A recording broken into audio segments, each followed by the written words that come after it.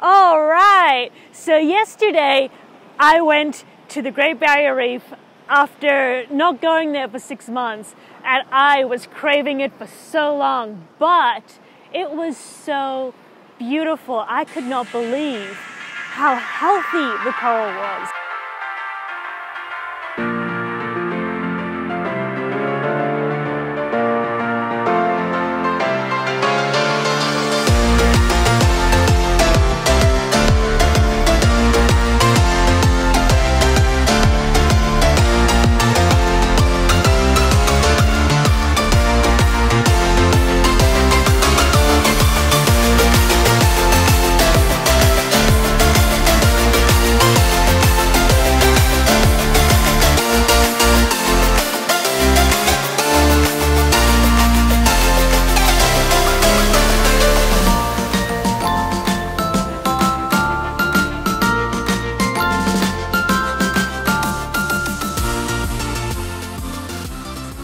I saw news articles saying that the reef is as good as it's been for a very long time. And I was like, yeah, whatever, news articles, they like to hype things up.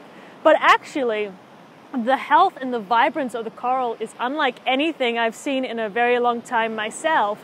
And that was awesome. I took great pleasure in diving down and swimming along the waters, in amongst the corals, the fish life, there were so many fish, everything was amazing, which is super encouraging because earlier this year we did in fact have a coral bleaching event, but thankfully it wasn't long enough for the corals to actually die because a coral bleaching event doesn't automatically mean that the coral all dies. It can recover, but if it's stressed out for too long, it dies. And you know what? I can kind of understand. If I get stressed out for too long, oh, woe is me. So that's really good to see the corals are super good. Uh, scientists believe that it could be in part because we haven't seen any large cyclones come over our reef uh, in the last couple of years. So that could be a big positive. The coral bleaching event didn't have a severe negative impact on the reef, which is also good. However, it doesn't mean everything's hunky dory and we should just forget about it and, you know, let's stop burning more fossil fuels and throwing plastic in the ocean.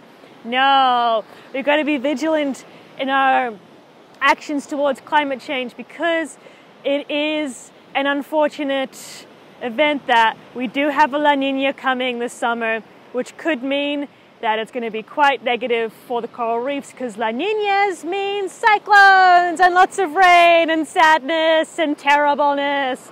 So we really have to keep an eye on our reef, keep an eye on everything out there, and make sure that we can do our bit to mitigate the impacts of climate change because the coral reefs at the moment it's all fresh, new little corals and it's the uh, initial succession corals as well. So this is the first coral species that comes up and they're hard corals, but they're delicate corals.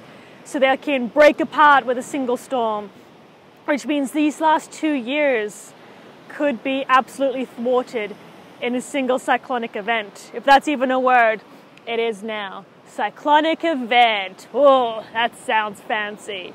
So we must keep an eye on that. But at the moment, I am just through the moon. Yes, through the moon, not through the roof. I'm through the moon. I'm over the roof. Things are looking absolutely incredible on the reef, and I am a happy conservationist seeing it. Enjoy the footage and share with me how amazing all this was. Thank you all for watching. Don't forget to like and subscribe if you want more ocean goodness and Great Barrier Reef facts. Thank you. Until next time. Bye bye.